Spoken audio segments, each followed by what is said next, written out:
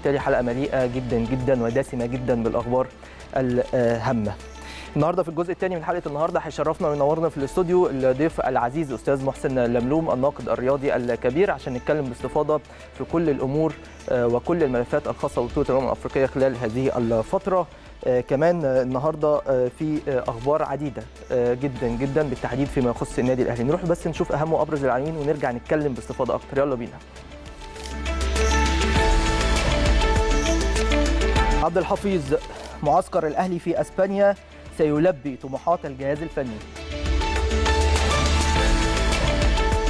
أجاييه وأزارو ينتظمان في تدريبات الأهلي غدا. أجيري يرفض تغيير تشكيلة الفراعنة ويؤكد لا للتدوير بين الحراس. أوكي. معلول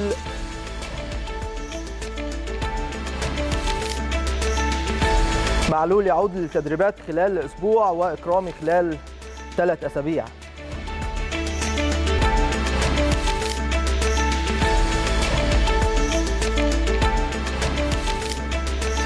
أجيري يرفض تغيير تشكيلة الفراعنة ويؤكد لا للتدوير بين الحراس.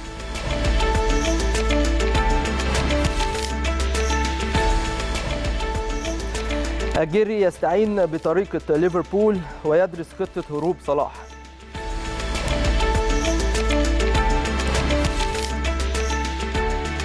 طبيب المنتخب يؤكد جاهزية حجازي لمواجهة الكونغو.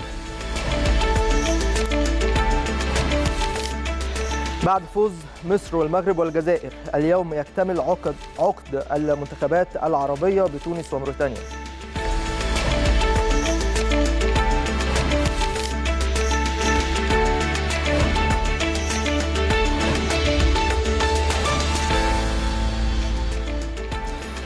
أخبار كتير زي ما واضح كده في عناوين حلقة النهارده بالتحديد هنبتدي بأخبار النادي الأهلي واللي بيستمر في استعداداته للموسم الجديد. استعدادات ابتدت إمتى؟ ابتدت أول امبارح بالظبط في استاد مختار تيتش بالجزيرة. أكيد هي استعدادات مهمة جدا بالنسبة للنادي الأهلي. ليه؟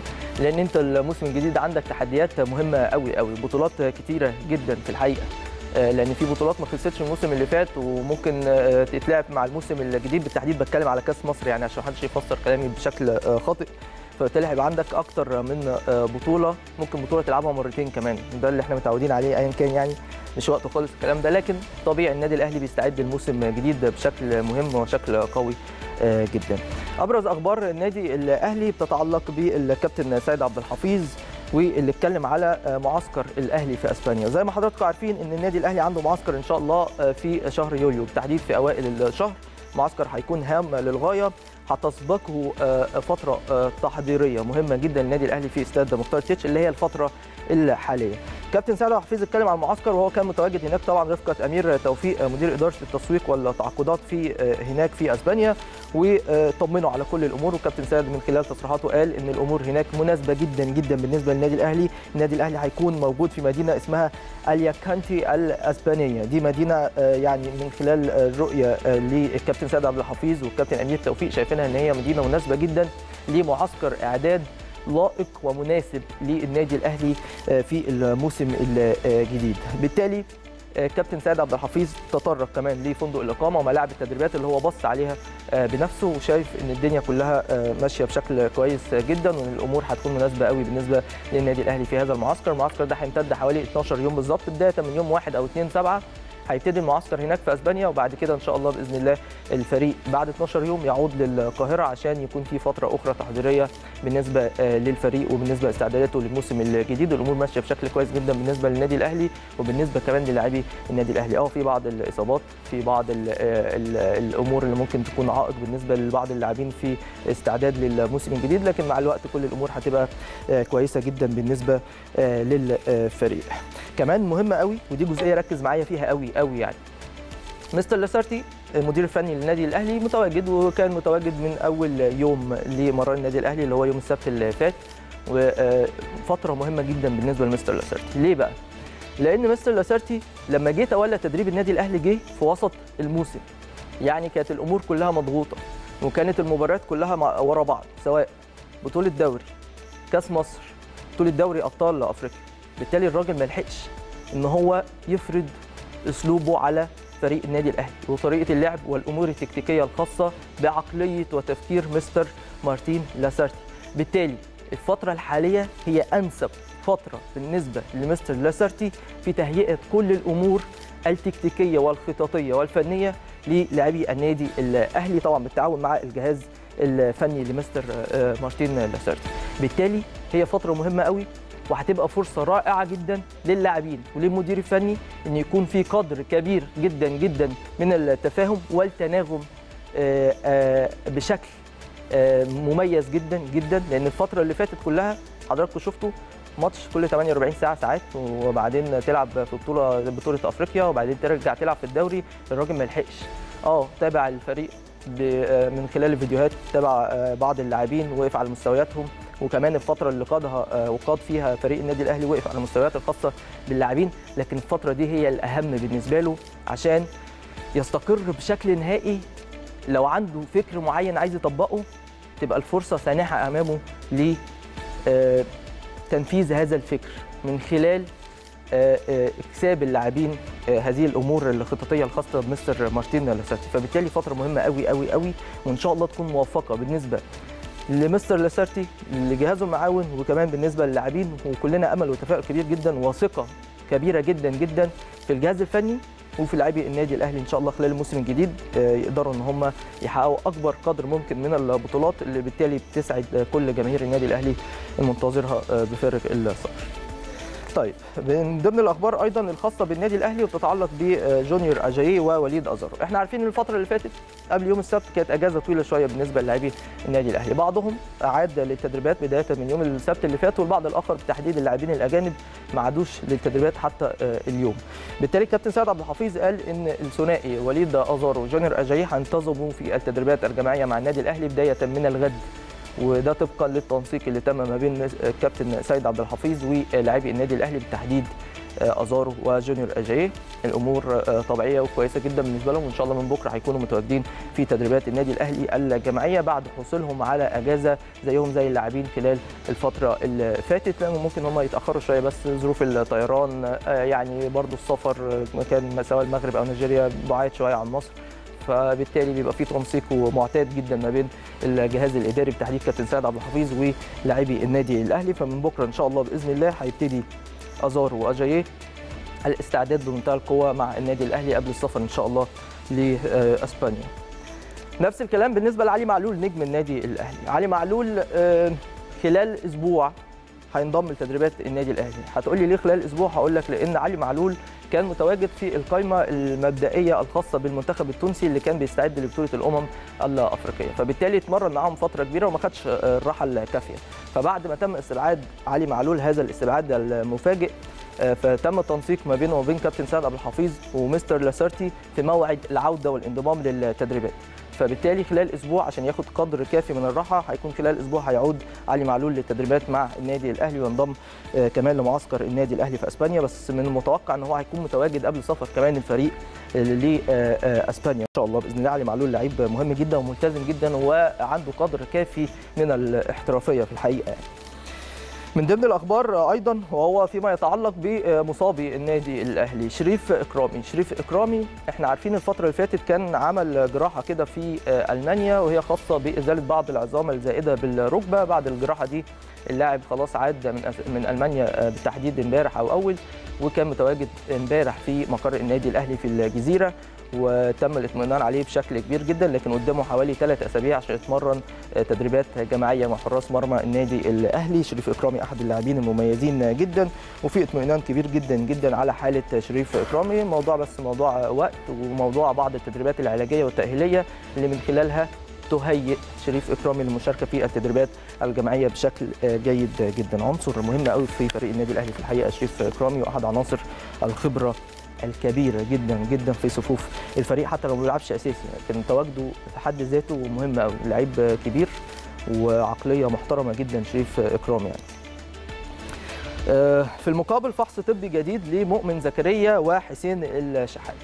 مؤمن زكريا أول مران للنادي الأهلي يوم السبت اللي فات تعرض لالتواء في الركبة. فبالتالي كان في بعض الفحوصات الطبية ليه امبارح وكمان هيبقى ليه بعض الفحوصات الطبية النهارده عشان نشوف آه، مؤمن زكريا هيشارك في التدريبات إمتى. لكن الموضوع مطمئن التواء خفيف في الركبة إن شاء الله سريعا طبقا لرؤية الجهاز الطبي اللي هيحددها بعد الفحص الطبي الأخير النهارده.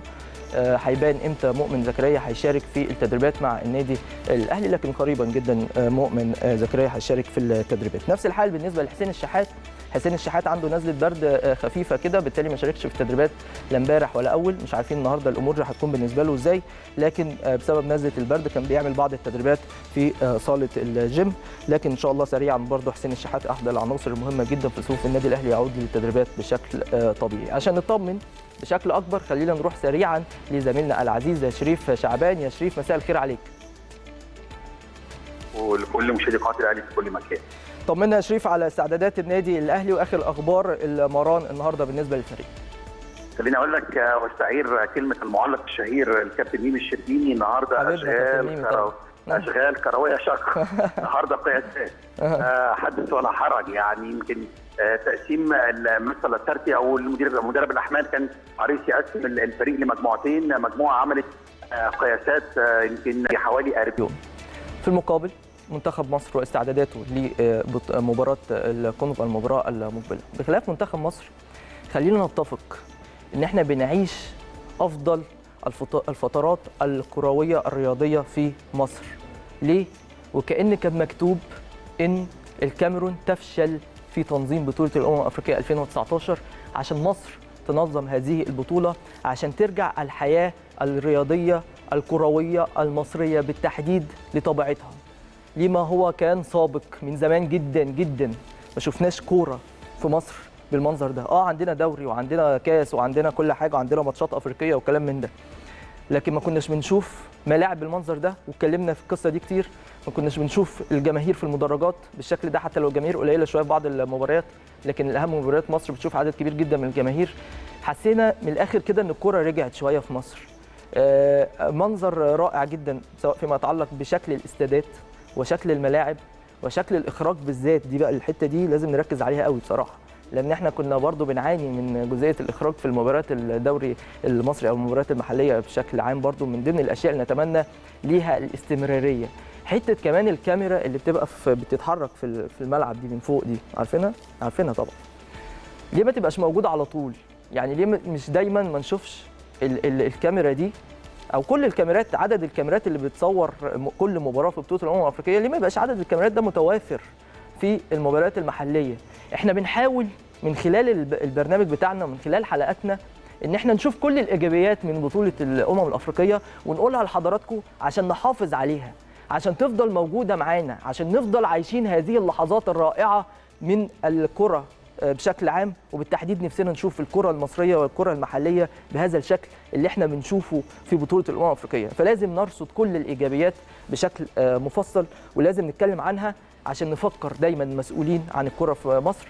آه، الحاجات اللي بتسعد الشعب المصري والناس اللي بتفرح بالكوره واللي بالنسبة لها الكوره دي حاجة ترفيهية رائعة جدا والناس اللي بتاكل من ورا الكوره دي عيش لازم نتكلم ونحافظ على هذه الأمور عشان تفضل موجودة معانا خلال المراحل اللي- جاية. ما نكتفيش بس بتنظيم بطولة الأمم الأفريقية والحمد لله الحمد لله التنظيم أكثر من رائع. واللي يقول غير غير كده يبقى بيدور على أي سلبيات وخلاص. لا أنت عندك تنظيم كويس جدا جدا في خلال أربع شهور بس إن مصر تنظم بطولة كبيرة بهذا العدد من المنتخبات لأول مرة في تاريخ القارة الأفريقية. 24 منتخب يبقى بالمنظر ده فدي حاجة رائعة جدا جدا. الأهم الاستمرارية الأهم بعد بطولة الأمم الأفريقية لما تخلص بإذن الله على خير وبإذن الله منتخبنا الوطني يكون متوج بهذه البطولة واللقب الثامن في تاريخه.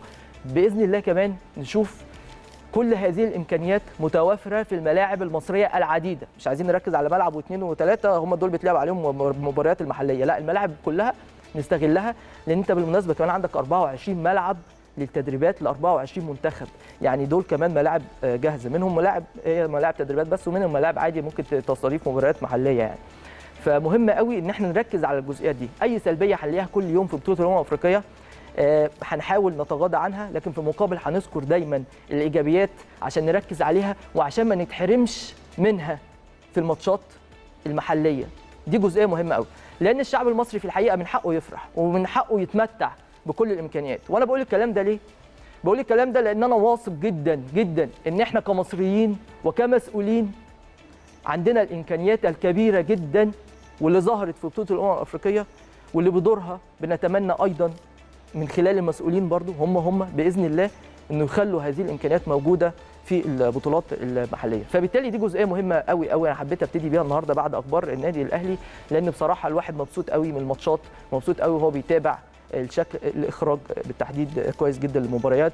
منظر الملاعب منظر النجيلة الأرضية بتاعت كل ملعب حاجة رائعة وحاجة تدعو للفخر وإحنا هو دول هم دول المصريين فعلا. هم دول المصريين اللي لما بيعوزوا يعملوا حاجة بيعملوها. لما بتحط في دماغك حاجة كمصري بتتنفذ. حتى في أصعب الأوقات حتى في أضيق الأوقات بالنسبة لك. فهم دول المصريين ونتمنى بإذن الله بإذن الله إن إحنا نستمر في هذا المنظر الرائع فيما بعد بطولة الأمم الأفريقية. بمناسبة بطولة الأمم الأفريقية النهارده في ماتشات ماتشات مالي وموريتانيا. خلينا نبتدي بكوت ديفوار وجنوب أفريقيا لأن الماتش ده اللي بيتلعب دلوقتي. الماتش انتهى يا جماعة ولا لأ؟ 1-0 في الدقائق الأخيرة بالنسبة لكوت ديفوار. جون جابه جوناثان كودجيا في الدقيقة 65 وكوت ديفوار في الحقيقة الشوط الأول كانوا عاملين مباراة كويسة جدا بيتقدموا على جنوب أفريقيا. دي كانت أول مباراة النهارده. المباراة الثانية هتكون ما بين تونس وأنجولا. مباراة قوية جدا ومهمة جدا. لعيب زملكاوي فرجاني ساسي في المنتخب التونسي مش هيبتدي المباراة بالمناسبة. واللعيب أهلاوي في أنجولا آه جيرالدو. مش بنتكلم يعني أهلاوي زملكاوي ده مش وقته خالص طبعا لكن إحنا بنقول هيكون في متابعة من الجماهير المصرية لهذه المباراة بالتحديد خصوصا متواجد هؤلاء اللاعبين يعني. أيضا الساعة العاشرة مساء مباراة مالي وموريتانيا وهتكون مباراة أيضا مهمة جدا. مباراة كوت ديفوار وجنوب أفريقيا في اللحظات دي خلاص بتنتهي بتقدم كوت ديفوار وفوز كوت ديفوار بنتيجة 1-0 بهدف جوناثان كودجيا في الدقيقة 65 منتخب قوي على فكرة منتخب كوت ديفوار. امبارح كمان كان في ماتشات. امبارح الحد كان في ماتش الجزائر وكينيا وانتهى 2-0 منتخب الجزائر منتخب قوي جدا برضه. السنغال كسبت تنزانيا 2-0 منتخب قوي جدا السنغال. المغرب كسبت ناميبيا 1-0 بهدف عكسي عن طريق أحد لاعبي ناميبيا لكن هم قدروا إن هم يفوزوا بالثلاث نقاط. لكن عندك الجزائر والسنغال في الحقيقة منتخبات قوية جدا والمغرب أيضا منتخب قوي وتونس أعتقد هيظهروا بشكل جيد. لازم كمنتخب مصر نبتدي بقى واحدة واحدة كده عدينا مباراة زيمبابوي. حمى البدايه عديناها. نركز بقى في اللي جاي وده هيكون شيء مهم جدا وكلنا ثقة كبيرة جدا جدا جدا في كل اللاعبين المصريين لاعبي المنتخب بالتحديد.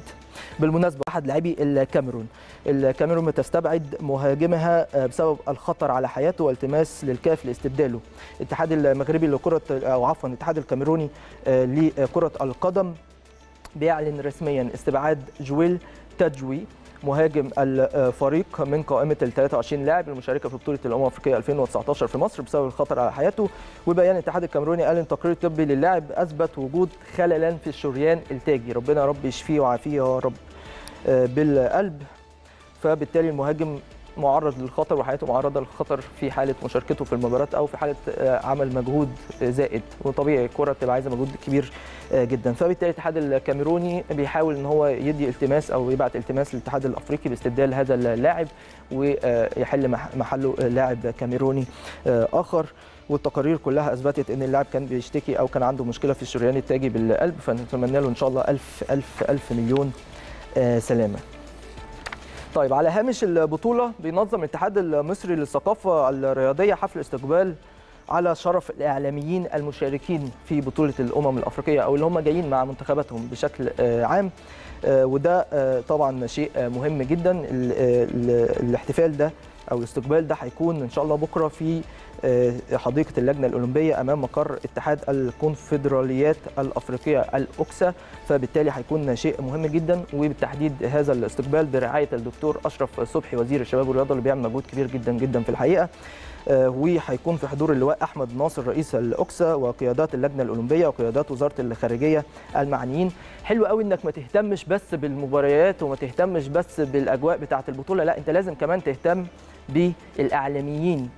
اللي موجودين واللي بيأزروا منتخباتهم واللي بيقوموا بدورهم وعملهم هنا في مصر مع المنتخبات الخاصة بيهم. فبالتالي جزئية مهمة جدا. عشان نعرف تفاصيل أكتر عن هذا الحدث خلينا نستقبل على الهاتف أستاذ أشرف محمود طبعا الناقد الرياضي المعروف. يا أستاذ أشرف مساء الخير عليك. مساء النور عليك وعلى كل مشاهدينك في قناة النادي الأهلي في كل مكان. نورنا حضرتك عايزين نتكلم طبعا على هذا اللي حدث واستقبال الإعلاميين بشكل عام على هامش بطولة الأمم الأفريقية واستقبال كمان سيادة الوزير أشرف صبحي وأشرافه على هذا الاستقبال وعلى هذه المناسبة بالتحديد على هامش البطولة يعني. اولا بشكر اهتمام قناة النادي الأهلي وحضرتك وكل القائمين على البرنامج بهذا الحدث اللي إحنا زي ما سيادتك تفضلت كده في المقدمة إن إحنا بنسعى إنه القصة مش مباريات رياضية فيها فائز وخاسر وخلاص وينتهي الموضوع م. القصة أكبر من ذلك بكثير أنت بتتكلم على بطولة قارية بتجمع دول القارة م. اللي بينهم وشائج وصلات وعلاقات ضاربة في عمق التاريخ وفي الجذور فبالتالي بنعزز ده النقطة الثانية إحنا عندنا مهمة ثانية لبلدنا، أنا عايز اللي يجي مش جاي يروح الاستاد ومن الاستاد على الفندق وخلاص وانتهى الموضوع، أنا عايز اللي يجي يجي يشوف مصر مصر الجديدة مصر 30 يونيو مصر المرحلة الجديدة دي اللي إحنا بنرسم صورة ذهنية لبلدنا تعادل في أذهان الأفارقة الصورة الذهنية اللي كانت في مرحلة الستينيات لما كانت مصر رائده في هذه القارة وتقود ثورات التحرر من أجل التحرر من من الاستعمار. عشان كده مصر لازم لما ترجع لدورها الطبيعي وتحتضن شقيقتها في بطولة استثنائية جاءت قبل أربع شهور فقط من موعدها بكفاءة عالية وباهتمام رئاسي فخامة الرئيس عبد الفتاح السيسي ومتابعة من الدكتور مصطفى مدبولي وإشراف لحظي وأكرر لحظي كويس. ثانية بثانية من الدكتور أشرف صبحي كل ده يخلينا إحنا كمان نقوم بدورنا. إحنا مين؟ إحنا الإعلام إحنا المجتمع إحنا الشارع إحنا سواق التاكسي إحنا الفندق إحنا في كل مكان. م. لازم نظهر الوجه الحقيقي لمصر عشان كده قلنا مع بيت الرياضة الإفريقية اللي هو أحمد ناصر رئيس اتحاد الكونفدراليات الإفريقية الأوكسا مع اللجنة الأولمبية المصرية البهو بتاعها باعتبارها برضه بيت الرياضة المصرية. هناك هنعمل إن شاء الله الرحمن بكرة الساعة 7 حفل استقبال على شرف هؤلاء الإعلاميين زملائنا يتعرفوا فيه على مصر الأخرى بالنسبة لهم مصر اللي هي الناس والشعب والحضارة. في فقرات فنية هتبقى موجودة في الحفلة دي فقرة فنية إفريقية وفقرة فنية مصرية. كويس. كويس. هيبقى موجود الربابة والمزمار والتحطيب والتنورة. مم. كمان عاملين الأكل بقى هيبقى أكل شعبي مصري. يعني يتعرفوا على الكشري والفول والطعمية ويتعرفوا على الزلابية أحلى الأكل الشعبي المصري الكشري والزلابية وكلام من ده طبعا بالظبط. بيديهم صوره أخرى. هو في الأوتيل هو في الأوتيل بياكل كل حاجة وعارف كل حاجة. لكن يعرف مصر ثقافتها إيه مم. كمان عاملين العصيدة الإفريقية عاملين الجونجليز العصير السوداني الشهير موجود عاملين أكلات من إثيوبيا من شرق إفريقيا من غرب إفريقيا كل دول معمول وموجود. هيجي يلاقي بلده موجودة أو يلاقي مصر موجودة وبالتالي ده التواصل بين الثقافات والحضارات اللي هو أهم أهم مباراة كرة قدم وثلاث نقط وفوز وجول وكده طبعا فده ده الهدف يعني. الموضوع مش متعلق بس بالإعلاميين العرب لا الإعلاميين الأفارقة بشكل عام اللي بيغطوا البطولة. كويس. كل من يشارك ما حتى العربي اللي بيشارك في البطولة دي بصفته إفريقي كمان. أنا قصدي قصدي مش آه. مش العرب يعني بس مش العرب بس لا لا مش العرب بس. م. وبعدين عايز أديك بقى سبق لقناة الأهلي إكراما لاتصالكم. آه سيتم تكريم عميد الإعلاميين الافارقه الإعلامي الرائد المصري الكبير الأستاذ فهمي عمر طبعا. باعتباره آه واحد ممن شهدوا تأسيس الاتحاد الإفريقي م. وكان يغطي أول بطولة أمم إفريقيا عام 57 في السودان م. وبالتالي سيتم تكريمه وتقديم زرع تذكاري عليه التميمة بتاعة البطولة م. للأستاذ فهمي بكرة على مرأى ومسمع من ابنائه بقى وأحفاده اللي هم الإعلاميين الافارقه اللي موجودين في هذه البطولة حاجة جميلة جدا بنصل الماضي بالحاضر عشان المستقبل المستقبل. يبقى كل الناس تعرف إن الوفاء موجود ومستمر طالما بلد حضارات زي مصر. يبقى ما بتنساش نجومها الكبار اللي شرفوها في كل المحافل الدولية. يا أستاذ أشرف أنا بشكر حضرتك. شكرا جزيلا على هذه المداخلة. وكلام مهم جدا من الأستاذ أشرف محمود طبعا الناقد الرياضي المعروف والكبير جدا. و حاجة كده بتتعمل على هامش البطولة الاهتمام بس مش بالكورة وبالمباريات لا لازم تهتم بالإعلاميين الأفارقة بشكل عام عرب وأفريقيا أي حد أي حد. من اللي جم يغطوا كل شغل منتخباتهم هنا في مصر وتعرفهم على الحضارة المصرية بشكل مميز وتعرفهم على كل شيء بيخص مصر عشان دايما دايما هي دي مصر اللي بتكرم ضيوفها وبتحسن ضيافتهم بشكل كبير جدا ففي الحقيقة خبر مهم ومناسبة هامة جدا نتمنى لهم دايما كل التوفيق. طيب خلينا نروح نشوف أخبار كان في الصحف إيه يلا بينا. الأهرام فوز أوغندا على الكونغو يضع المنتخب الوطني في دائرة الحسابات المعقدة. أجيري يبدأ علاج أخطاء مباراة زيمبابوي ويحذر اللاعبين من ال social media. الشروق أجيري يرفض تغيير تشكيلة الفراعنة أمام الكونغو الديمقراطية. الأخبار المسائي ارتباك في المعسكر. أجيري يطالب لاعبي المنتخب بالانضباط ويهتم بثغرات الكونغو. الأخبار ثورة تصحيح في المنتخب إحباط فتنة ال social media مع وردة أجيري ينفض غبار معركة المحاربين ويطالب باستغلال رقابة صلاح.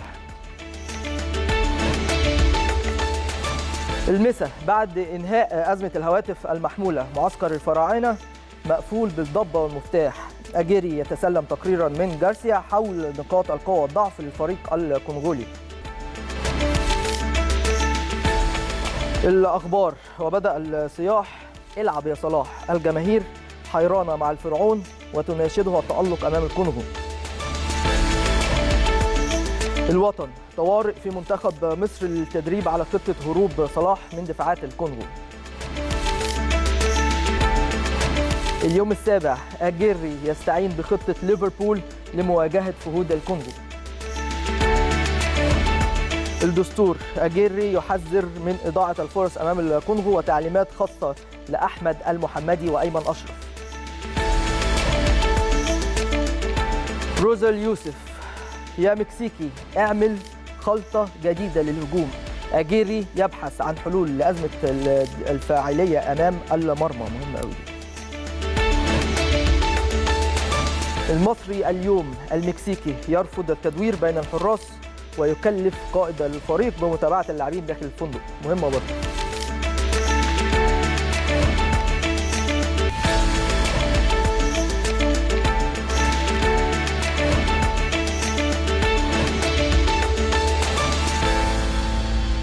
طيب في أخبار في الحقيقة في الجرايد مهمة جدا فيما يتعلق بمنتخب مصر. خلينا نبتدي بالأهرام واللي بتتكلم على إن فوز أوغندا على الكونغو. كان فوز مهم قوي وبالتالي بدوره بيصعب المجموعة. إزاي بيصعب المجموعة؟ لأن أنت هتقابل أوغندا الجريح اللي ما عندوش أي فرص أخرى غير الفوز في هذه المباراة أو على أقل تقدير التعادل هيكون عنده أيضا فرص في الحقيقة يعني. فبالتالي هتواجه منافس قوي جدا غير اللي أنت شفته في مباراة أوغندا. اللي لعب قدام أوغندا ده حد واللي لعب أو اللي هيلعب أمام مصر هيبقى حد تاني خالص أو منتخب تاني خالص. فبالتالي آه هتبقى الحسابات معقدة شوية. أنت دورك إيه كمنتخب مصر كجهاز فني كلاعبين إنك تخلص نفسك بدري بدري وتبقى أول المتأهلين للأدوار المقبله علاج أخطاء زيمبابوي ده شيء مهم جدا وحصل فعلا. وكان في كلام كتير ومحاضرات كتير من الجهاز الفني بقيادة مستر أجري مع لاعبي المنتخب وإن شاء الله هنشوف أداء أفضل من كده بكتير وهنفضل ورا المنتخب حتى لو لعب وحش. المهم يكسبوا والمهم يجيبوا لنا ال trophy نفسه اللقب نفسه يجيبوه لنا إن شاء الله بإذن الله.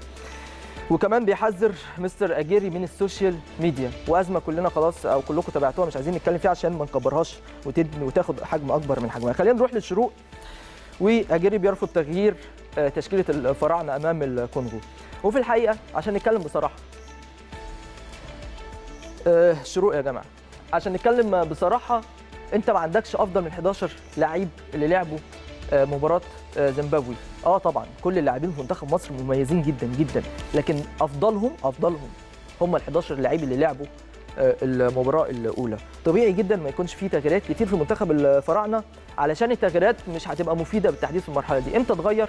لما تضمن الصعود وتبقى المباراة الثالثة بالنسبة لك تحصيل حاصل. هي مش هتبقى تحصيل حاصل من ناحية الصعود هي هتبقى مهمة كمان. من ناحية المراكز لكن في نفس الوقت ممكن يكون عندك فرصة لتجربة بعض اللاعبين اللي ممكن ما يكونوش لعبوا وإدخالهم في أجواء البطولة تحسبا للاحتياج ليهم مع مجريات المباريات فصعب إن يكون في تغييرات في تشكيلة المنتخب وهتبقى هي هي تشكيلة المنتخب في مباراة بعد بكرة بإذن الله يوم الأربعاء الساعة 10 بالليل مع الكونغو. الأخبار المسائي وبتقول ارتباك في معسكر المنتخب واجيري يطلب لاعبي المنتخب الانضباط ويهتم بثغرات الكونغو. أنا عايز أتكلم بالتحديد على جزئية ثغرات الكونغو دي لكن حتة ارتباك إحنا يا جماعة مش عايزين نضخم الأمور قوي. يا جماعة مشكلة وأزمة حصلت وخلصنا خلاص منها مش هنتكلم فيها كتير. إحنا بقى عايزين نتكلم في المباراة نتكلم في الفنيات. خلاص المنتخب لو في أي سلبية وارد على فكرة إن يكون في سلبيات ده طبيعي طبيعي يعني مفيش حد خالي من الأخطاء والعيوب والكلام من ده. كل ده عادي قوي إنه بيحصل يعني. لكن في نفس الوقت ركز بقى في ماتشاتك. فعشان كده عايز اعلق على الجزء الثاني من الخبر وهو خاص بثغرات الكونغو. أكيد في ثغرات عند منتخب الكونغو لكن في نفس الوقت عندك ايجابيات عنده كبيرة جدا عندهم ايجابيات تتمثل في السرعة. فأكيد هيكون في تحذير كبير جدا جدا من مستر أجيري سواء فيما يتعلق بإيجابيات المنتخب الكونغولي وكمان هيبقى في تركيز كبير قوي مع سلبياتهم عشان إن شاء الله بإذن الله نقدر نستغلها وبإذن الله بإذن الله نقدر ناخد ثلاث نقاط جديدة في هذه المجموعة. الأخبار بتقول آه، ثورة تصحيح في المنتخب. و يعني طبيعي طبيعي دور الإعلام كله بيتكلم في المشكلة اللي حصلت بتاعة ال social media لكن إحنا قفلنا الجزئية دي امبارح علقنا عليها خلاص ومش هنتكلم فيها آه تاني. لكن في المقابل مستر أجيري يعني بينفض غبار معركة المحاربين ويطالب باستغلال رقابة صلاح. إزاي تستغل رقابة صلاح؟ إن خلاص سما صلاح الناس كلها مركزة معاه طبعا لأنه نجم كبير وأكبر نجم في القارة الأفريقية وفي البطولة دي كلها فطبيعي يبقى في تركيز معاه من اللعيب اثنين ثلاثة كمان. في المقابل انت حاول تستغل الجزئية دي. الناس كلها مركزة مع صلاح حاول تلعب الناحية الثانية إحنا شفنا في المباراة الأولى في الحقيقة تركيز شوية على محمد صلاح من اللاعبين المصريين مش من المنافس. عايزين يلعبوا الكره لصلاح باصي لصلاح ال- الحتة دي يعني. فانت عندك تريزيجيه لعيب كبير قوي مروان محسن لعيب مميز. عندك عبد الله السعيد لعيب مميز. عندك كذا مفتاح. في آه، منتخب مصر تقدر تستغلهم بخلاف محمد صلاح المفتاح الأبرز في صفوف صفوف المنتخب وتقدر إن أنت تحقق أهدافك. وأهم شيء استغلال الفرص لأن الفرص لما بتضيع كتير هتبقى مشكلة ليك في الأدوار التأهيلية. طيب آه الأخبار بتقول بدأ الصياح العب يا صلاح. وهنا برضو بيدل على إيه؟ بيدل على التركيز الكبير والطبيعي مع نجم بحجم محمد صلاح. الجماهير حيرانة مش حيرانة ولا حاجة هي الجماهير مستنية من صلاح دايما الأداء الأفضل ومستنية من صلاح الأهداف والكلام من ده اللي إحنا متعودين نشوف عليه صلاح سواء مع المنتخب في الحقيقة أو مع ليفربول كمان. المهم في الجزئية دي بصراحة يعني إن شاء الله إن شاء الله هدف محمد صلاح ما يتأخرش في البطولة. أول هدف لمحمد صلاح ما يتأخرش. برضه هيدهن مش مهم مين اللي يجيب الجول مش مهم صلاح مش مهم يجيب الجول خالص المهم إن إحنا ناخد البطولة. لكن كل ما الهدف بتاع محمد صلاح الأول في البطولة وإن شاء الله يجيب أهداف كتير يتأخر لو الهدف اتأخر الضغوط هتزيد على المنتخب وعلى لعيب المنتخب وعلى محمد صلاح فبالتالي نتمنى طالما هو ما وفقش في إحراز هدف المباراة الأولى إن شاء الله يكون موفق في إحراز هدف في المباراة الثانية عشان يرفع الضغوط عن نفسه وعن لاعبي المنتخب والجهاز الفني بشكل آه، كامل. اليوم السابع بتقول إن أجيري هيستعين بخطة ليفربول آه، لمواجهة فه- فهود ال- الكونغو. هيستعين بالخطة إزاي؟ يعني الموضوع مجازا. يعني هو بس الجزئية اللي هيركز فيها هو التبادل في خط الهجوم ما بين مروان محسن ومحمد صلاح وتريزيجيه وتبادل المراكز أثناء مجريات المباراة. ودي جزئية في الحقيقة مهمة لأن أنت لما تتبادل المراكز وتلاقي اللعيب ده هنا شوية اللعيب هنا ده هنا شوية هتعمل خلل في الدفاع الفريق المنافس بشكل طبيعي جدا. نتمنى كل التوفيق في وضع الخطة المناسبة واللاعبين المناسبين في هذه المباراة. من مستر اجيري اللي كلنا بالمناسبة ثقة فيه ومتفائلين بيه جدا. إن شاء الله بإذن الله. الدستور اجيري يحذر من إضاعة الفرص أمام الكونغو وتعليمات خاصة لأحمد المحمدي وأيمن أشرف. أكيد في تعليمات خاصة سواء دفاعية أو هجومية لأحمد المحمدي وأيمن أشرف وخصوصا أحمد المحمدي لأن الجبهة دي عندنا كانت نقطة ضعف في الحقيقة في مباراة زيمبابوي. وأكيد مستر أجيري مركز في الجزئية دي بشكل كبير قوي. واللي مركز عليه أكتر آه، عدم إضاعة الفرص لأن إحنا ضيعنا بعض الفرص في الشوط الأول في الحقيقة وفي الشوط الثاني كانت فرص قليلة قوي لكن الشوط الأول ضيعت فرص كتير في مباراة زيمبابوي. مهم قوي استغلال الفرص عشان يعني الدنيا ما تتصعبش عليك. روزل بتقول يا مكسيكي اعمل خلطة جديدة للهجوم. وهم ممكن هنا يكونوا بيعلقوا على عدم التجانس اللي من وجهة نظر روزل يوسف ما كانش موجود آه، تجانس في مباراة زيمبابوي. وبيقولوا إن لازم يكون في أي حلول أخرى لأزمة الفعالية على المرمى وشايفين إن ما كانش في فعالية على المرمى. بصراحة كان في فعالية في الشوط الأول الشوط الثاني كانت الدنيا هادية شوية. كنا بندافع شوية. آه، الشكل اللي كنا معتادين عليه آه، لمصر مع كوبر افتكرناه في الشوط الثاني بالتحديد الشوط الأول اتعملت مباراه كويسة لكن دايما هي بتبقى حمى البداية وصعوبات البداية وإن شاء الله بإذن الله تخطيتها وتبتدي إن شاء الله مباراة آه، الكونغو أداء جيد ونتيجة جيدة وده الأهم النتيجة الأهم النتيجة دايما. المصري اليوم بتقول إن المكسيكي بيرفض التدوير بين الحراس. طبعا طبعا ما ينفعش إن أنت تقعد تدور أو تلاعب الحارس ده شوية وتلاعب الحارس ده شوية. لا خلاص الشناوي محمد الشناوي آه، لعب مباراة كبيرة قوي وأنقذ هدف صعب جدا جدا في الشوط الأول وقبل ما أنت تجيب الهدف الأول ليك كان التعادل سلبي فالشناوي أنقذ كورة انفراد كانت صعبة جدا. فليه؟ الراجل ماشي كويس أغيره ليه يعني؟ مش يعني موضوع مش مطروح اطلاقا يعني. ويكلف قائد الفريق بمتابعة اللاعبين داخل الفندق الموضوع يا جماعة إحنا عندنا لاعبين والله ملتزمين جدا جدا. وارد تلاقي حاجة صغيرة حصلت وارد مش عارفين مش عايزين نكبرها ونضخمها. آه الإعلام لازم يت- يتناول هذه ال- الأمور أوكي. لكن في إطارها الطبيعي دون التضخيم عشان ما يأثرش على المنتخب وما يأثرش على الهدف الخاص مش بالمنتخب بس ده بالشعب المصري كله مستني البطولة. فهنخش في فرعيات وأمور حتى لو هي مشكلة بس ما نتكلمش فيها كتير خلاص. هدفك ركز عليه كلاعيبة منتخب. فحته مراقبة كابتن الفريق وكلام من ده لعيبه منتخب مصر لعيبة كبار وملتزمين جدا وإن شاء الله نتمنى لهم كل التوفيق في ما هو قادم من مباريات إن شاء الله بإذن الله. نروح نشوف أخبار كان في المواقع. يلا بينا. سوبر كورة. اللجنة المنظمة لبطولة كأس امم إفريقيا تستأنف اجتماعاتها. اليوم السابع منتخب مصر يواصل تدريباته بالكلية الحربية استعدادا للكونغو. Eurosport عربية أجيري يسعى لقتل ثلاث سلبيات قبل مواجهة الكونغو. فيتو. أجيري يعقد مؤتمرا صحفيا غدا. الشروق. طبيب المنتخب يؤكد جاهزية حجازي لمواجهة الكونغو. يلا كورة. كيف تعامل جهاز المنتخب مع أزمة انستجرام الشروق. الانجولي جيرالدو يشيد بدعم الجماهير المصرية لمنتخب بلاده. في الجول بالماضي الفوز الافتتاحي مهم في بطولة إفريقيا وأرفض المقارنة بين محرز وصلاح. الوطن سبورت بونجاح أضعنا فوزا تاريخيا على كينيا ونخوض مواجهة السنغال من أجل الفوز. سوبر كورة على غرار المصريين جماهير الجزائر تجمع القمامة من المدرجات.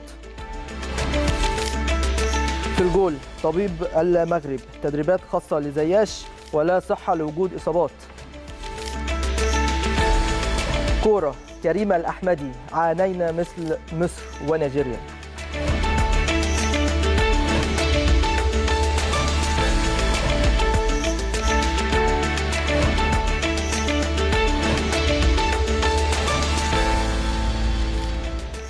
اليوم السابع بتقول إن منتخب مصر هيستأنف تدريباته أو يواصل تدريباته النهارده في استاد الكلية الحربية بالليل إن شاء الله. وإحنا عارفين المنتخب تدريباته كلها على آه، ملعب الكلية الحربية وقريب جدا من فندق الإقامة. مهم قوي إن إن شاء الله قبل الماتش بيوم أو حاجة نحاول نتمرن على استاد القاهرة لأن دي هتبقى جزئية مهمة لأن الواضح كده من المباراة اللي فاتت أمام زيمبابوي اللاعبين ما كانوش واخدين على الارضيه الرائعه للملعب. اللي واخد ممكن شوية هو محمد صلاح المحمدي النني الناس دي. الباقيين صعب إن هم ياخدوا على الأرضية الجميلة اللي إحنا بنشوفها في مصر في الحقيقة الفترة دي.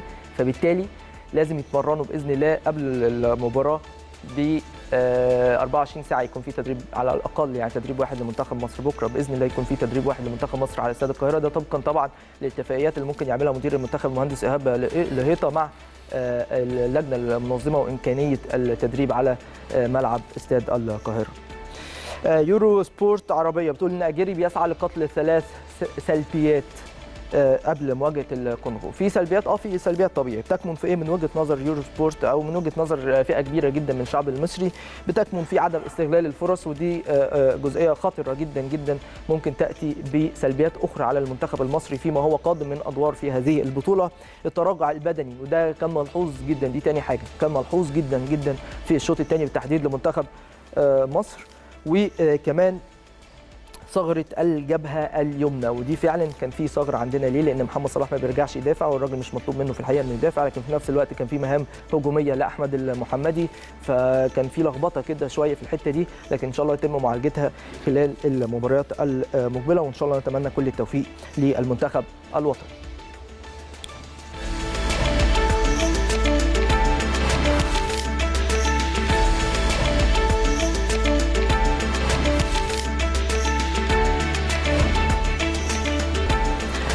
فيتو اجيري يعقد مؤتمرا صحفيا غدا وده بيبقى الشيء المعتاد يعني والمتعارف عليه قبل أي مباراة. دايما بيبقى في مؤتمر صحفي. بكرة هيكون في مؤتمر صحفي مستر أجيري عشان يتكلم على استعدادات المنتخب للمباراة الموجولة أمام الكونغو اللي هتكون يوم الأربع القادم بإذن الله. فيما يتعلق بأحمد حجازي وده من جريدة الشروق.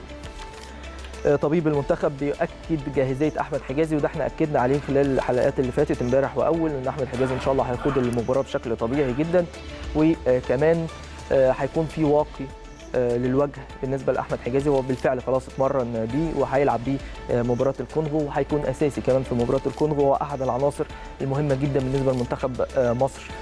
خلال سنوات سابقة والسنوات قادمه والسنة دي كمان بالتحديد إن شاء الله بإذن الله نتمنى كل التوفيق لأحمد حجازي في الفترة الجاية. وإن شاء الله يقود المنتخب في مباراة الكونغو بشكل طبيعي ويكون مساهم في فوز وانتصار مهم جدا لمنتخب مصر. خلينا نروح نشوف أهم أخبار اللي كان في الصحف العربية بشكل عام. إيه؟ يلا بينا. الصريح التونسية. محافظ السويس أتمنى وصول تونس للنهائي مع مصر لأنهما المنتخبان الأكثر شعبية. الهداف الجزائرية بنجاح لم نخيب الجزائريين ونعم نحن مرشحون للذهاب إلى أبعد دور. الخبر الجزائرية زيدان يوجه رسالة للمنتخب الجزائري. النهار الجزائرية بلايلي الحمد لله دخلنا بقوة في كأس إفريقيا. الشباك الجزائرية بالماضي نحن من من كنا الأفضل وليس هم من كانوا الضعفاء. البطولة المغربي. الأحمدي يكشف مصيره رفقة الأسود بعد نهاية الكان. الصباح المغربية. الأسود يتنازلون عن منحة الدور الأول. المنتخب المغربية. هكذا شبه رينارد مباراة الأسود أمام ناميبيا. هيسبورت المغربية. حجي المنتخب فك عقدة المباراة الأولى والمعنويات ارتفعت قبل مواجهة كوت ديفوار. أخبار الوطن الموريتانية. ولد عبد العزيز يغادر أرض الوطن في وفد كبير لحضور حوار الجيران. Ghana Soccer Net نانا أكوفو يطير إلى مصر الليلة لمشاهدة مباراة غانا وبنين الثلاثاء. ديلي بوست النيجيرية نجم النسور الخضراء قد يغيب عن باقي مباريات البطولة بسبب الإصابة.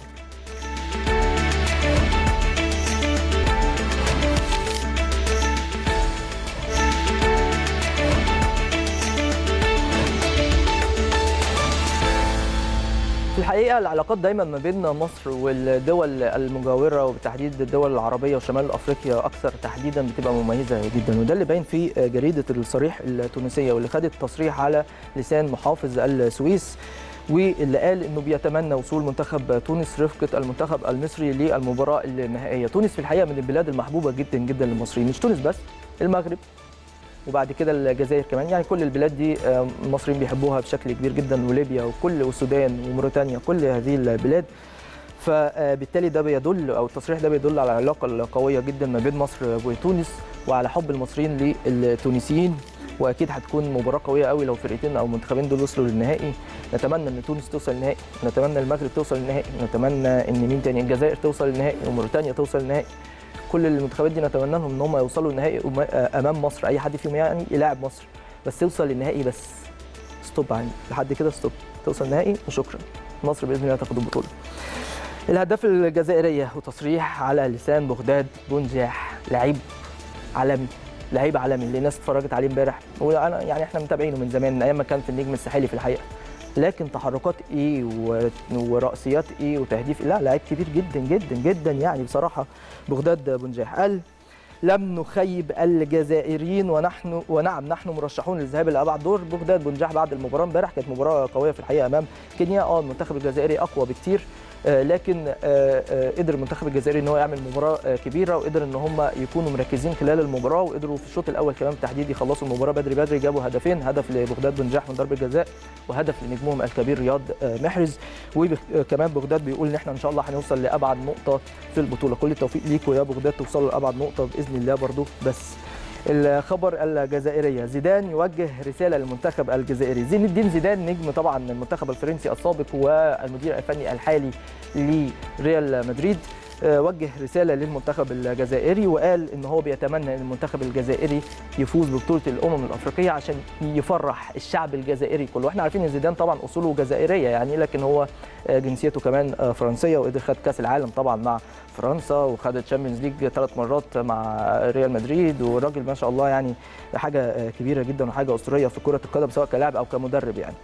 كاصوله الجزائرية بشكل طبيعي جدا بيتمنى إسعاد الشعب الجزائري من خلال الفوز بهذه البطولة. وهو بيقول رسالة لرفاق رياض محرز طبعا نجم مانشستر سيتي الإنجليزي. يحاولوا يجيبوا اللقب بأي طريقة عشان الشعب يفرح. النهار الجزائرية بتقول إن يوسف البلايلي تصريح على لسانه بيقول الحمد لله إحنا دخلنا بطولة كأس الأمم الأفريقية بشكل قوي جدا. وفي الحقيقة هم وجهوا رسالة من خلال مباراة الأمس بالقوة بتاعتهم وبتركيزهم الشديد في الوصول لأبعد نقطة في بطولة الأمم الأفريقية ولم لا تحقيق اللقب من وجهة نظرهم. يوسف البلايلي قال إن إحنا عملنا مباراة كبيرة وإن إحنا كنا مركزين قوي وإن هم كمان عايزين يوصلوا لنقطة بعيدة في البطولة ويحاولوا يحاولوا اللقب. ومبسوط جدا من أداء وتركيز لاعبي الجزائر ده بالتحديد يوسف البلايلي نجم الترجي التونسي ولاعيب في الحقيقة مميز جدا. الشباك الجزائرية قالت تصريح على لسان جمال بالماضي المدير الفني للمنتخب الجزائري وقال نحن من كنا الأفضل مش هم اللي كانوا وحشين قصده على على فريق كينيا. بيقول إن إحنا كنا منتخب قوي وكنا أفضل في الملعب وكنا مركزين بشكل كبير جدا في الملعب وعارفين أهدافنا ومحددين أسلوب لعبنا بشكل كبير. الناس بتقول إن كينيا هي اللي كانت منتخب ضعيف لا مش هم اللي كانوا ضعفاء. إحنا اللي كنا الأقوى ودي حقيقة. المنتخب الجزائري منتخب قوي ومرشح بقوة للفوز باللقب. طيب البطولة المغربي قال إن الأحمدي بيكشف مصيره رفقة الأسود بعد نهاية الكان. طبعا كريم الأحمدي أحد اللاعبين اصحاب الخبرة الكبيرة في المنتخب المغربي بيقول إن دي هتكون آخر بطولة ليه في أو مع المنتخب المغربي في بطولة الأمم الأفريقية لأن خلاص هو كريم الأحمدي يعني تقريبا عنده 34 سنة دلوقتي فخلاص فرص مشاركته في بطولة أخرى هتكون صعبة فبالتالي هو بيتمنى بيتمنى إن هو يحقق نتيجة مهمة قوي قوي مع المنتخب المغربي. بالتحديد بعد ما كانوا وصلوا للنهائي قبل كده في تونس هناك في 2004 وخسروا النهائي أمام المنتخب التونسي. طب خلينا نروح لمداخلة مهمة جدا مع صحفي موريتاني والاستاذ محمد البشيري أستاذ محمد مساء الخير عليك. مساء الخير مساء السعادة أستاذ امير تحية طيبة لك ولكل المستمعين منورين مصر منورين مصر. الله يخليك مصر منورة بأهلها. يعني في البداية عايزين نتكلم على استعدادات المنتخب الموريتاني للمباراة المقبلة والهامة جدا الليلة إن شاء الله أمام المنتخب المالي. الأمور ماشية إزاي؟ وخصوصا في ظل إنها أول مشاركة رسمية للمنتخب الموريتاني في بطولة الأمم الأفريقية على مدار التاريخ. صحيح صحيح. موريتانيا لأول مره تتأهل لنهائيات افريقيا الاتحاد الموريتاني تأسس تحديدا. 61 والتأهل أتى 2019 أكثر من 50 سنة. ونحن ننتظر هذه اللحظة التاريخية. أخيرا اللحظة التاريخية أتت وموريتانيا في الكان سيفتتح المشوار مساء اليوم أقل من ثلاث ساعات وموريتانيا يعزف نشيدها ويرفع علمها لأول مرة في المحافل القارية. بخصوص سؤالك عن الاستعدادات الاستعدادات تجري كانت تجري على قدم وساق. واختتمت مساء في الملعب الفرعي بمدينة السويس هنا بمدينة السويس الناخب الوطني بالنقطة الصحفية التي تسبق المباراة بالأمس أشاد بالتحضيرات خصوصا التي بدأت من المنوى والتي في ملعب مراكش وخاض خلالها مباراتين وديتين امام مدغشقر بثلاثة أهداف هدف والثانية أمام منتخب بنيه وخسر بهدفين لهدف. كل الأمور الآن باتت جاهزه تلك حسابات الوديات وانتهت. الآن أصبح الأمر بشكل رسمي. هناك هناك أمور من وضعها هناك أيضا مسؤوليه لابد من تحملها. هناك 4 ملايين موريتاني يستعدون وينتظرون هذه الطاوله طالما انتظروها الآن هي أمر واقع ومعاش. فقط نتمنى التوفيق وأن يكون اللاعبون في يومهم قليل من التركيز وكثير من الدعاء وبحول الله. سنحصد النقاط الثلاث. إحنا بنتمنى لكم كل التوفيق بما إنها طبعا المشاركة الأولى ليكم يعني وأنتم منورينا في مصر وإحنا حظنا حلو إن المشاركة الأولى بالنسبة للمنتخب الموريتاني تكون من خلال استضافة مصر للبطولة. لكن بالتحديد عايز أتكلم على الشعب الموريتاني وفرحته بالمشاركة دي وأماله وصل لحد فين خلال البطولة وكمان عدد الموريتانيين اللي هيأزروا منتخبهم في مصر هيكون قد إيه؟ ثانيا ليكون صريحين كصحفي مؤيس المنتخب من 20 أعتقد بأن المجموعة صعبة وصعبة جدا. نحن في مجموعة إلى جانبنا منتخب تونس أحد اعرق واضخم وأفضل المنتخبات الإفريقية. أيضا المنتخب مالي ليس بالسهل له تاريخ كبير في هذه البطولة رغم أنه لا يمتلك سجل ذهبي فيها ولم يفز بها هو واحد في مطلع السبعينيات القرن الماضي وعشر مشاركات قبل أيضا لدينا في المجموعة. وان كان منتخب انغولا معروف إلى حد ما. بالنسبة لنا كموريتانيين كونه كان معنا في المجموعة وانتصرنا عليه في العاصمة نواكشوط وانتصر علينا هناك في العاصمة الأنغولية. لكن هذه حقيقة الأوراق هذه حقيقة المطيات تبقى حقيقة الميدان أمر آخر. أقول بأن الموريتانيون يأملون كثير في تحقيق نتائج إيجابية والذهاب إلى الدوري القادم من هذه البطولة بخصوص حديثك عن البطولة. تقام لأول مرة وموريتانيا تاهل لأول مرة والبطولة تحتضنها أريد أن أشكر من هذا المنبر جميع المصريين الذين احاطونا بكل بكثير من الكرم. والضيافه وحسن الأخلاق من المطار ومدينه السويس استقبال. لا يمكن أن ننسى ابدا في مدينة السويس بالزمارة البلدي. البلدي. هذه الأمور بس انها تعني تعني للشعب الموريتاني كثير كثير جدا.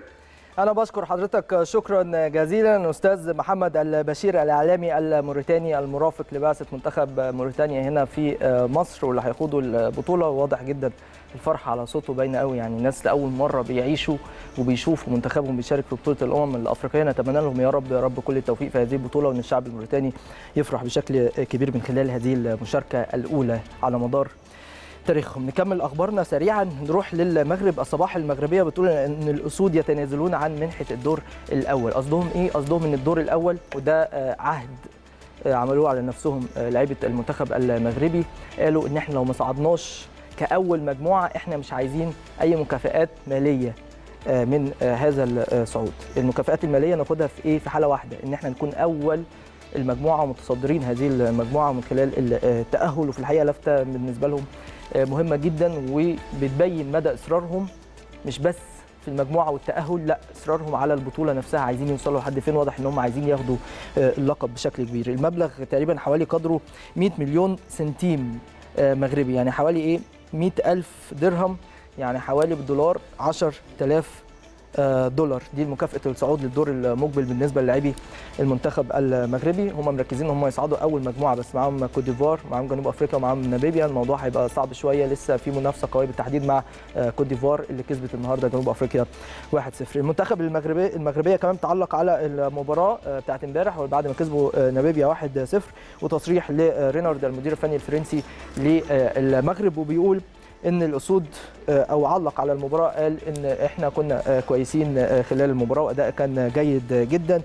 وأهم حاجة هو ركز عليها مستر هيرفي رينارد المدير الفني للمغرب قال إن إحنا تخطينا البداية حتى لو بهدف عكسي لكن إحنا كنا الأحق إن إحنا نكسب. وبيستشهد بإيه؟ بيستشهد بانطلاقتهم في كأس العالم 2018 وأول مباراة كانت أمام إيران في مجموعة كانت بتضم أسبانيا والبرتغال فبالتالي البداية كانت صعبة من خلال إن هم ضيعوا أهداف كتير جدا في مباراة إيران فبالتالي الأمور صعبت عليهم لأن كان عندهم البرتغال وأسبانيا.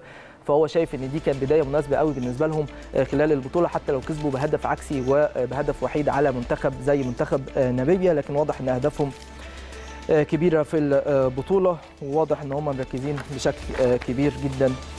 في بطولة الأمم الأفريقية. نتمنى لهم كل التوفيق ونتمنى لهم إن هم يأدوا أداء أكثر من رائع على مدار البطولة بشكل عام ويكون ليهم ليميت معين. هو آه يوصل قبل النهائي يوصل النهائي. لكن برضه بإذن الله البطولة مصرية. نروح لفاصل وبعد الفاصل عندنا فقرة مهمة قوي قوي قوي مع الناقد الرياضي الكبير أستاذ محسن لملوم عشان نتكلم في ملفات كتير جدا بتخص هذه البطولة. استنونا بعد الفاصل.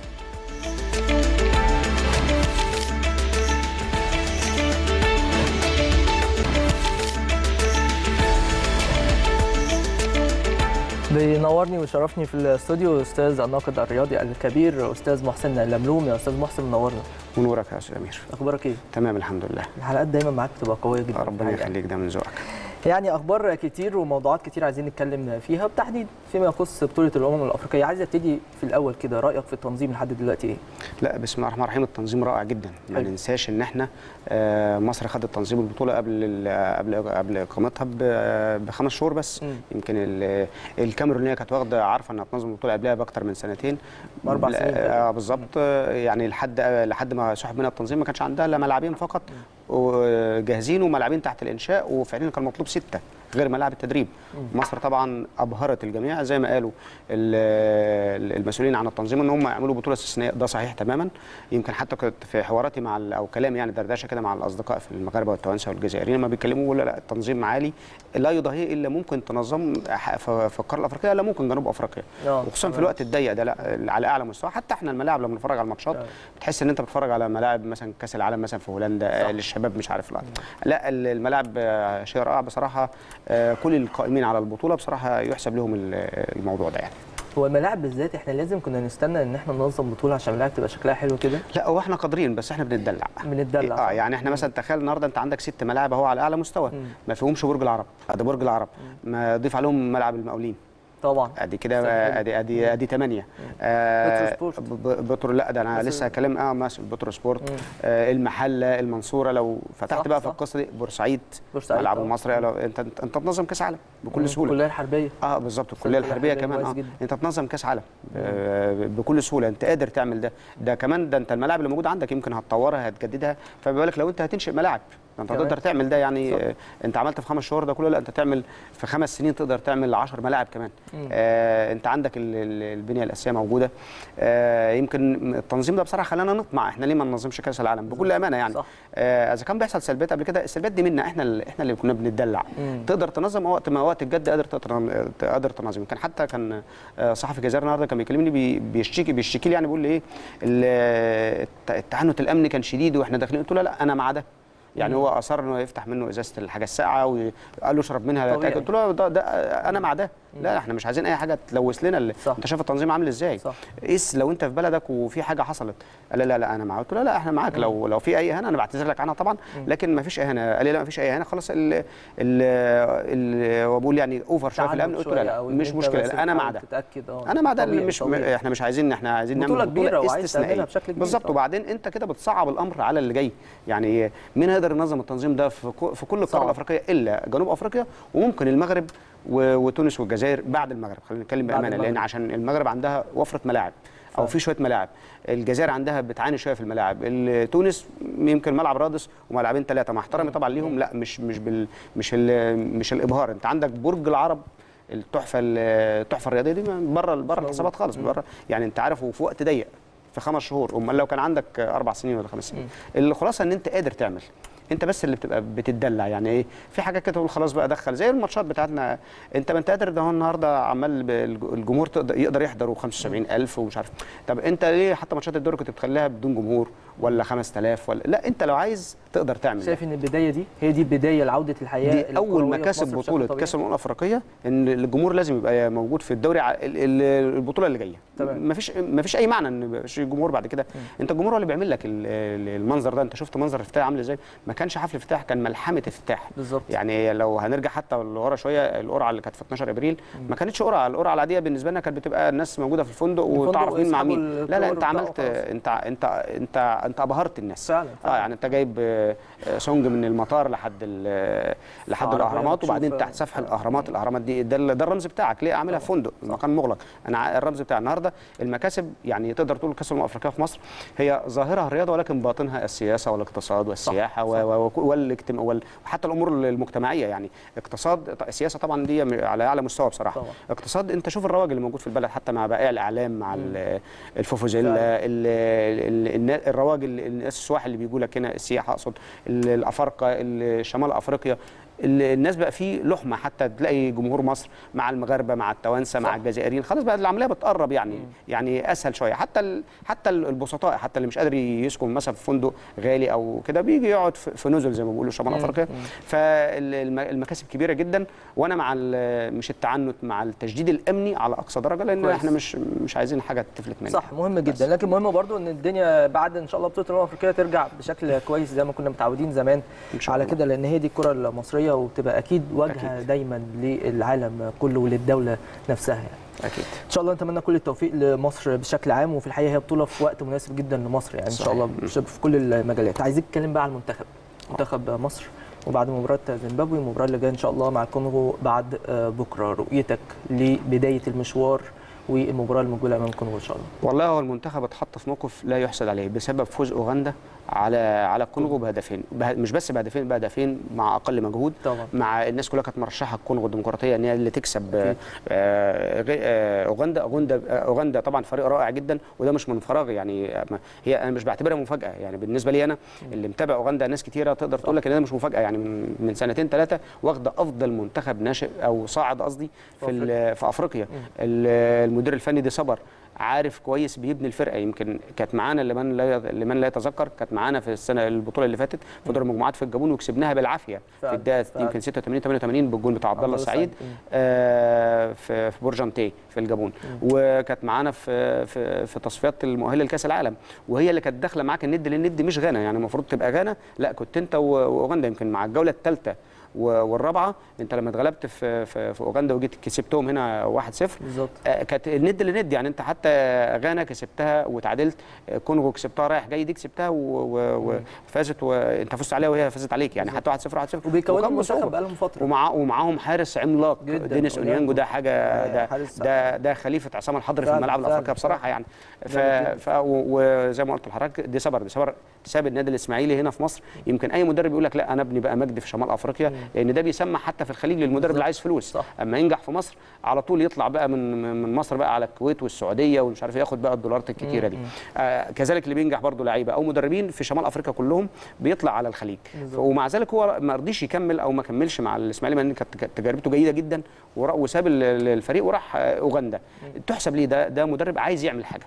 هو كان السبب في انهاء الاسماعيلي السنة اللي فاتت كمركز ثاني في آه،. بالظبط قبل ما يمشي قبل ما كان عامل. نتائج رائعة ومع ذلك سابهم وراح آه، آه، وراح زي ما قلت لحضرتك أوغندا عمل معاهم شغل يعني مش من فراغ فهو فأوغندا دي حطتك تحت ضغط ان انت لازم تكسب الكونغو كمان لأن الكونغو ما عندهاش امل تاني. يمكن لو خسرت منك يعني آه، املها ضعيف بقى انها تلعب على التوالت فيما لو فازت آه، على على زيمبابوي عدد أهداف كمان. خلاص وبعدد أهداف ودخلت نفسها في حسبة بيرما. فهي ما قدامهاش إن هي اللي هي تكسب معاك أو تتعادل أو. فده حطك تحت ضغط. كمان أنت عايز تستعيد الصدارة لأن بالمستوى اللي قدمته أوغندا ده هتكسب زيمبابوي بفرق كبير. طبعا كل شيء وارد في الكورة بس طبعاً. أنا بتكلم بالشكل اللي شايفينه. يعني. آه المعطيات اللي إحنا شايفينها قدامنا. فتقدر تكسب بشكل كبير. فده هيعمل عليك لود أكتر. أنت أنت بتفقد الصدارة على طول. هتضطر بقى في النهاية إن أنت تكسب أوغندا. يعني مش عايزين تبقى الماتش أنا كنت أتمنى الماتش الثالث يبقى التوتر فيها خفيف شوية بحيث إن أنت عندك مباراة دور الثمانيه والأدوار اللي جاية. أنت محتاج فيها الحمل ال- ال- النفسي على اللعيبة والحمل البدني. فما كنتش عايز إن أنت تبقى عليك اللود من من من دور المجموعات. أنت. اطلع كل اللي عايزينه من دور المجموعات إن أنت تتأهل في مركز أول بس بهدوء. يعني معاك المجموعة في المتناول بصراحة مع مع مع احترامي طبعا لهم.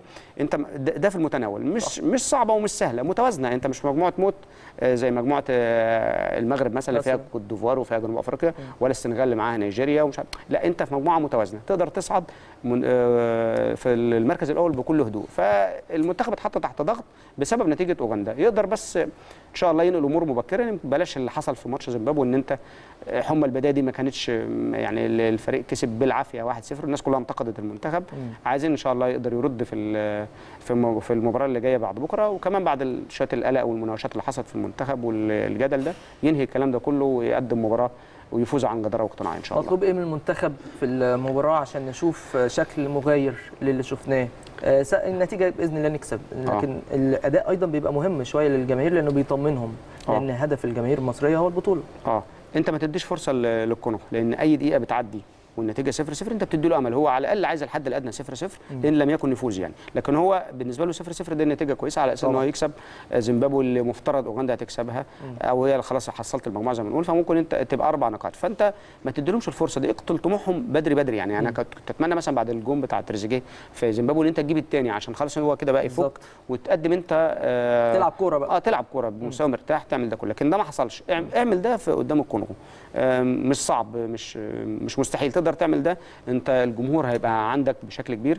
خلاص بقى خلصنا من حتة إن أنت آه، حمى ال- حمى البداية وال وحفل الافتتاح والمباراة كانت آه، تحت أعين العالم ومش عارف سيد الرئيس خلاص انت خرجت من ال- من الضغوط دي. خلاص. انت العب بقى ال- الكرة للكره زي ما بقول زي الماتشات اللي بتحصل دلوقتي. خلاص كل حتى فريق النهارده بيلعب مباراة بيط... بعد ما يخلص يقول لك خلاص تخطينا حمى البداية تخطينا. يمكن حتى كانت الصحف المغربية النهارده اختارت لك عنوان إيه الأسود بنجاح آه، تخطوا أو آه، لغم ال- الافتتاح. يعتبروه لغم. ده ده لفظ كويس أو كلمة كويسة. أنت ده لغم. ما تعرفش اللي- ما تعرفش الفريق اللي هيحصل لك إيه. زي اللي حصل للكونغو كده. كان لغم أوغندا. انفجر فيهم بهدفين مع الرأفة في وقت ضيق جدا. فهي دي هي دي القصة. أنت اتخلصت من ده خلاص أنت تقدر تلعب مباراة وأنت عندك أريحية. بس من الأول عشان ما تقعدش تصعب الأمور على نفسك.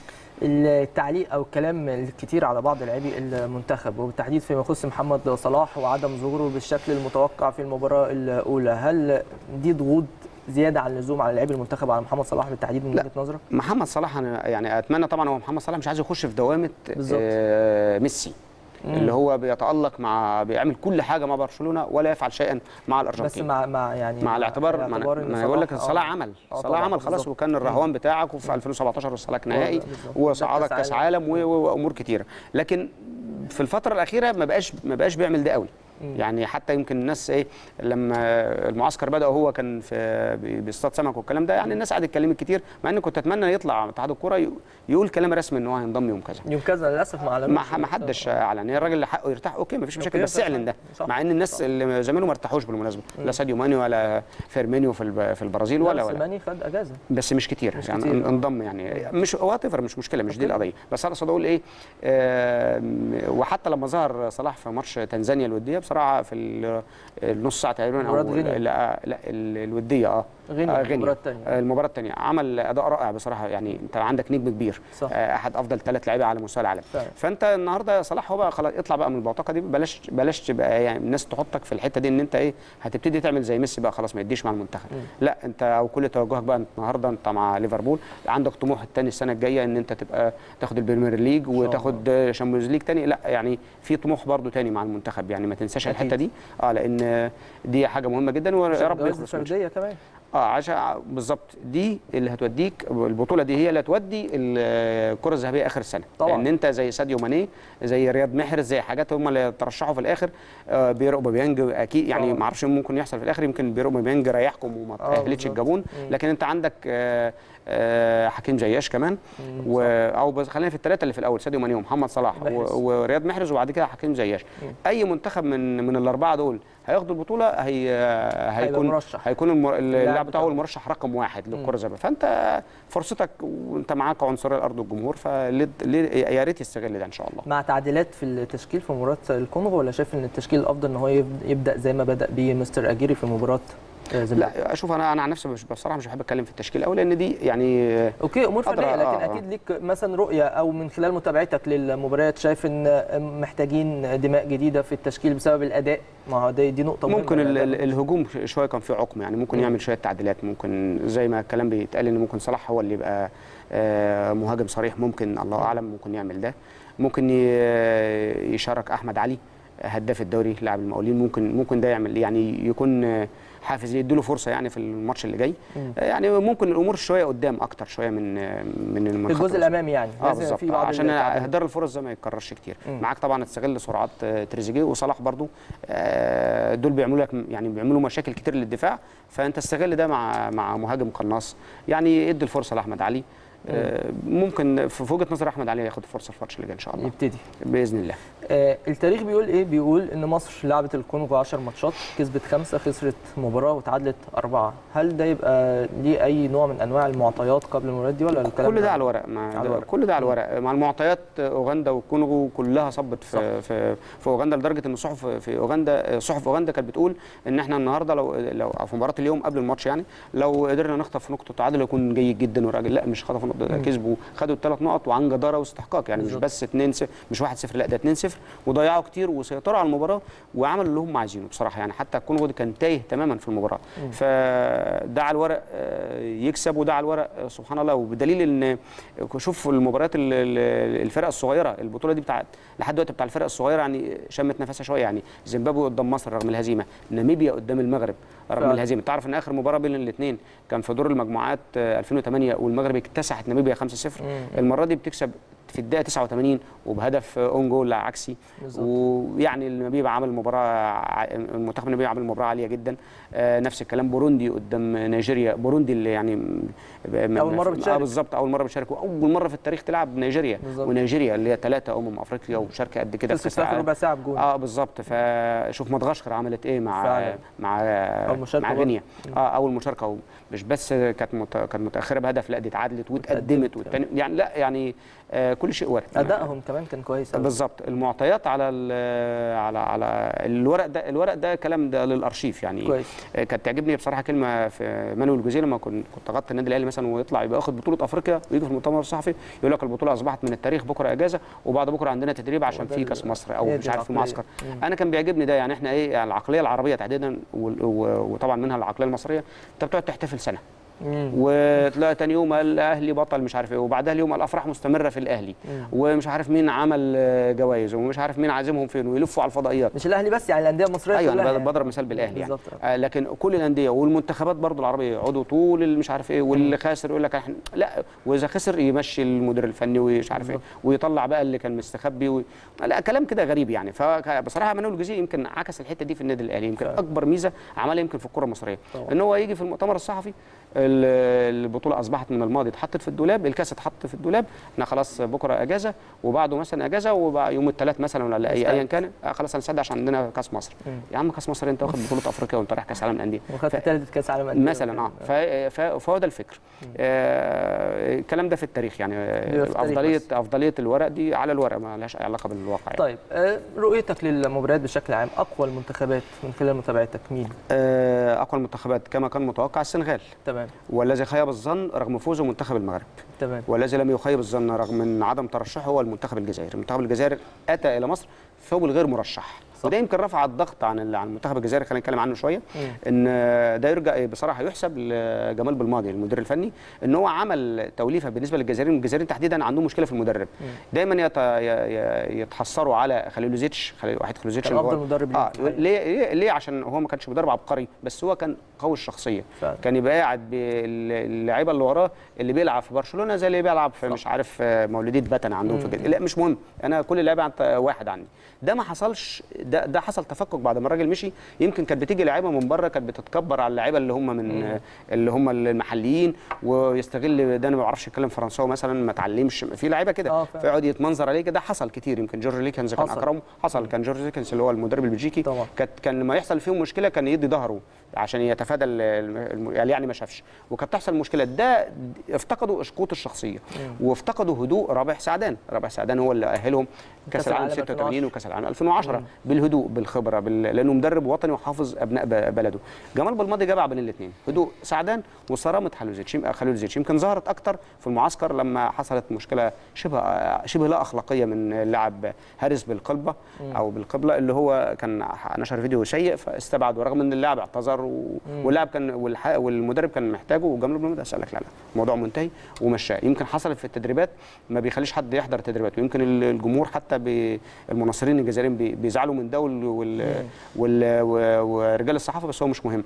حتى الماتشات الودية اللي لعبها رفض يزحها على ال... على الهواء. مباشرة. آه رفض انه يزح حتى ناس انتقدوه قالوا له يعني ده البرازيل بتاخد كأس العالم وما وما بتلغيش ال- البتاع ال- المباراة الودية بتزحها عادي. حتى مصر لما خدت ثلاث بطولات 2006 2008 2010 كانت بتذيع الماتشات عادي. انت ليه بتعمل كده؟ يعني عايزين يقولوا مش شرط ومع ذلك برضه مشى كلامه هو حر. فدي النقطة اللي كانوا بيفتقدوها. يمكن هو النهارده جاب لعيبة زي رياض محرز بس ما خلاش رياض محرز هو ال- ال- اللي هو ال- ال- النجم يعني. آه سفيان فغولي بقى واسلام سليماني وبقية اداله شارة الكابتن. اداله okay ما فيش مشاكل. ما هو ما هو طبعا النجم الأبرز. أنا بتكلم طبعاً. إن هو إيه يعني لا إحنا عندنا كتير. ف... فظهروا بالشكل ده. هم تحرروا من الضغوط دي. كانت ميزة لصالح الجزائري إن هو لم يأتوا في ثوب المرشح. اللي هو المشكلة اللي وقع فيها منتخب المغرب اللي هو جاء في ثوب المرشح. دي اللي عملته التوتر والضغط والضغوط قدام منتخب ناميبيا والمشاكل اللي كانت عنده قبل البطوله كمان. والمشاكل طبعا بس هي نفس المشاكل برضو اللي كانت موجودة في في صح، الجزائر. بس صح. هو الفرق من هنا في حاجة.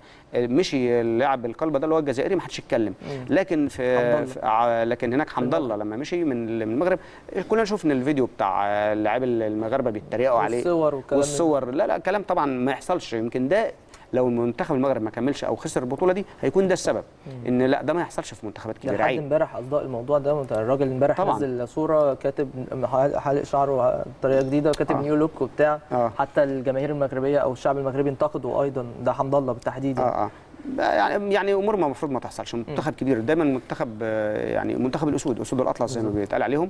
مواهب بصراحة في, في كل الدنيا. آه، معاهم مدرب اصل ما فيش بعد كده. هيرفي طبعاً، رينارد راجل. واخد البطولة دي مرتين. مرتين، زامبيا. زامبيا ونيجيريا. آه، زامبيا. وكوت ديفوار عفوا. وفي 12 2012 2015 ويسعى طبعا إن هو لو حصل عليها السنة دي مش هيبقى أكتر واحد خدها. لا بس هيبقى خدها مع ثلاث منتخبات مختلفين. طبعا. ده آه لكن برضه كان في شوية مشكلات برضه على مستوى الجهاز الفني وكان يعني كان في تدخل ومشي له حد من الجهاز الفني يعني فوز الأقجع والحاجات دي. بس يعني إيه؟ ده اللي ما كانش متوقع منه. يعني كنا عايزين كنت أتوقع إن منتخب المغرب لأ هيبقى كانوا بيلعب في مراكش ولا في الرباط ولا. آه لكن ده ما حصلش. لكن العكس زي ما قلت لك في منتخب الجزائر. آه بصراحة منتخب السنغال متكامل. آه أتوقع له انه هيكمل أكتر خصوصا لما يرجع له ساديو ماني بعد الإيقاف. بالظبط هيزداد قوة. آه آه، مباراة النهارده يمكن ما بينتش فروق قوي. يعني كوت ديفوار آه كان أعلى آه، طبعا من. جنوب أفريقيا وكسب بس مش مش ده مش ده مباراة. دلوقتي تونس وأنجولا في الدقيقة 27 وتعادل سلبي 0 آه، أعتقد برضو أعتقد المنتخب التونسي لا هو اللي مترشح ولا هو اللي يعني في المنطقة في منطقة الوسط. يعني يمكن آه، يعني برضو مش في ثوب المرشح بس في المقدمة يمكن. لو قلت المرشحين رقم واحد أقول لك في ثلاث فرق متساويين السنغال ومصر والمغرب. المغرب. بعد كده يجي في المرتبة. الثانية الجزائر تونس آه، كوت ديفوار نيجيريا اللي هي أسماء. غانا الكاميرون. جنوب أفريقيا اللي هي أنت بتلعب على الأسماء وبعد كده بقى أنت والمفاجآت فالمنتخب منتخب تونس في المرتبة الثانية في الت- في ال في ال في في, التصنيفات أو أقصد أقول. يعني في في الترشيحات. آه. الترشيحات للفوز بالبطولة أقوى المباريات لحد دلوقتي من وجهة نظرك اللي اتمتعت فيها وأنت بتتفرج وأهم اللاعبين أو أكثر اللاعبين تالقا مش ماتش واحد بس. أنا في وجهة نظري أوغندا وكونغو لأن إحنا ما كناش متوقعين ده. يمكن الناس هت- هتقول ال- المباريات يمكن الناس هتقول. آه هو تقول مثلا المغرب وناميبيا الجزائر آه، وكينيا. وكينيا آه. لكن بصراحة أنا شايف أوغندا عملت عم- عملوا قدمت كورة حلوة يعني. يمكن الناس ما شافتهاش قوي لأن الماتش كانت آه، الساعة 4:30 كانت في عز الحر ومحدش مستني حاجة من أوغندا وكونغو إحنا بنتفرج كده وخلاص عشان الفرقتين اللي معانا في المجموعة. لكن لا بصراحة عمل أوغندا تحديدا عملت كورة بصراحة رائعة. يعني إحنا متشوقين يعني أنا متشوق يوم الأربعاء مثلا نشوف ماتش أوغندا قبلينا أوغندا وزيمبابوي. يعني بقى فريق يسحبك إن أنت تتفرج عليه. وبرده طبعا السنغال والجزائر و- و- والمغرب. توقعاتك أخيرا لمباراة مصر والكونغو لا إن شاء الله تكسب بس تكسب كتير مش مش مش مهم. 1-0 يعني ممكن 2-0 أو 3-0 إن ده شاء الله. مهم جدا في إن. شاء الله بالظبط كده. أستاذ محسن لملوم نورتنا وشرفتنا كالعادة. بشكرك شكرا جزيلا. ربنا يخليك تحت أمرك. شكرا جزيلا. تحت أمرك. دي كانت فقرتنا الثانية من حلقة كلام في الميديا النهارده. كان بينورنا ويشرفنا في الاستوديو أستاذ الناقد الرياضي الكبير محسن لملوم. واتكلمنا في ما يخص بطولة الأمم الأفريقية وكل المنتخبات بشكل عام أكيد في النهاية دايما بنتمنى كل التوفيق لمنتخب مصر في مباراته المقبلة أمام الكونغو ويحصد ثلاث نقاط أخرى تضاف إلى آه، رصيده وبالتالي يتأهل رسميا لدور ال 16 من هذه البطولة وبإذن الله تكون خطوة للذهاب بعيدا وبعيدا حتى المباراة النهائية في بطولة الأمم الأفريقية وكمان بإذن الله تحقيق هذا اللقب. كل التوفيق لمنتخب مصر. دي كانت حلقتنا من كلام في الميديا النهارده. استنونا حلقة جديدة بكرة إن شاء الله. إلى اللقاء.